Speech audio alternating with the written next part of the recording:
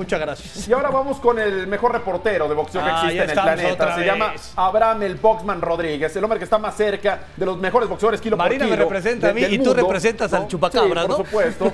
y porque está precisamente con Adrián el Confesor Hernández, que este sábado en Box Azteca expone el título mini mosca del Consejo Mundial de Boxeo ante el panameño Dirceo Cabarca.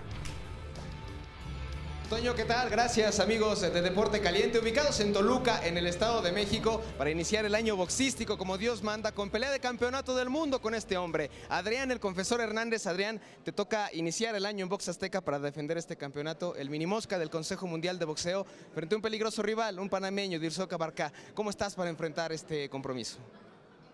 Pues al 100% me preparé como se debe, hice todo, cada uno de mis entrenamientos bien y este, ya listos para pelear el 12 de, de enero y retener el título.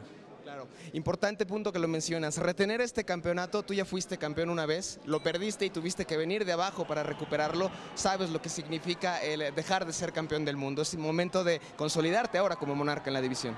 Sí, es lo que quiero, quiero este, que la gente hable bien de mí, que diga que soy un buen peleador, que este, demostrarlo, ¿no? Demostrarlo el 12 de enero y creo que así va a ser, voy a salir con la mano en alto. Adrián, un mensaje que quieras darle, por favor, a todo el público de Box Azteca que va a estar al pendiente de esta transmisión para iniciar el año como se debe con pelea de campeonato del mundo. Sí, este, no se pierdan este 12 de enero, va a ser una muy buena pelea con Dirceu, Cabarca, panameño muy duro y va a ser una muy buena pelea, no se lo pierdan. Las palabras del campeón, Adrián el Confesor Hernández, Toño, mi querido Luis, regresamos con ustedes, no se lo pueden perder, ya lo saben, este sábado a través, claro, de la Casa del Boxeo. Regresamos, gracias. Gracias, Boxman, sobresaliente, como siempre. Y hemos presentado ya hasta el momento cinco cortinillas, doctor.